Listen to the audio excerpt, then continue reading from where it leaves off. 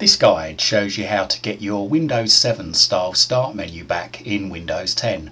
So you've managed to upgrade from Windows 7 to Windows 10 or you've bought a new PC and it comes with Windows 10 but you just don't like the start menu that it comes with. You prefer your old start menu.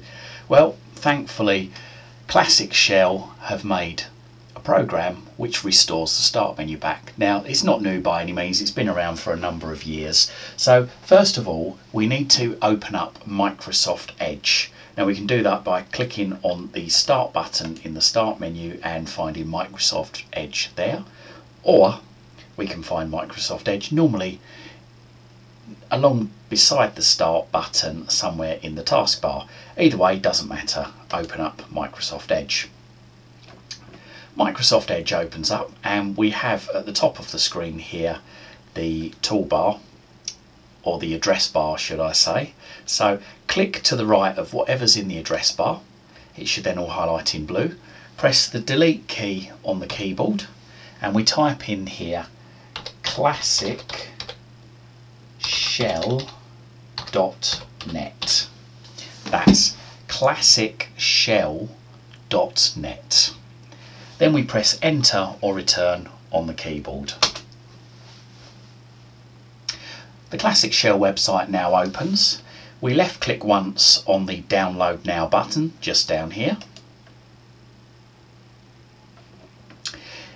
It then asks us um, what version do we want to uh, to uh, to download. Now in the case of mine it's already started downloading and uh, there you go. It says classic shell 425.exe finished downloading. Now if it hasn't started downloading automatically then left click on the language of the toolbar that you want. Obviously if you're watching this in English you'll probably want the English version. But uh, as I say mine's already started downloading. Yours will probably do the same. Okay then. So next thing we need to do is we need to click run. So we click run down here. Okay, it comes up, welcome to the Classic Shell Setup Wizard. So we click next. We click the box next to I accept the terms of the, in the license agreement. By the way, when I say click, I always mean left click, unless um, otherwise stated, it's a, a left click. Then we click next.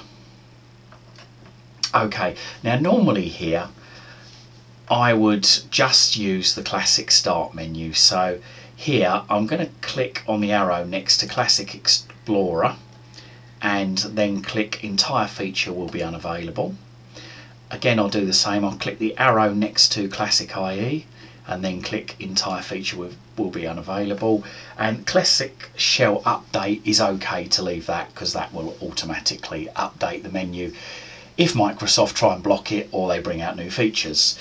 But uh, again, it's up to you. I'd, I'd recommend leaving it um, alone. So we left click next and then we click install.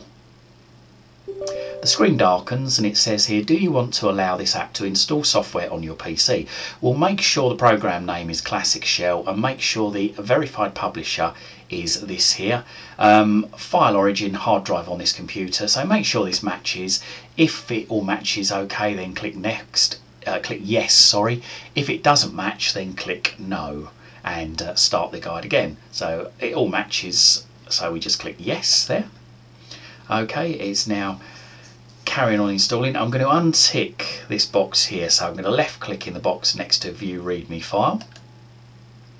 And then I'm going to click finish.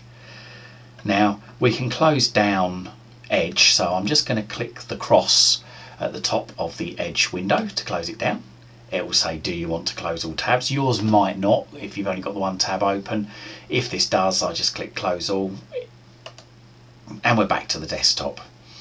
So now I'm going to move my mouse down to the start button and left click once on the start button and up comes the menu settings. So I'm going to use the Windows 7 style or we can use classic style or we can use classic with two columns. So I'm just going to click left click Windows 7 style okay and um, the start button it gives us an option to replace the start button but I'll leave the start button as is so uh, we just click OK.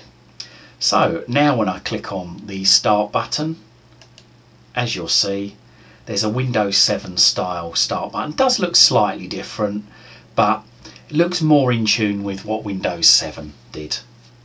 And that's it. That's how to get back your Windows 7 start menu in Windows 10.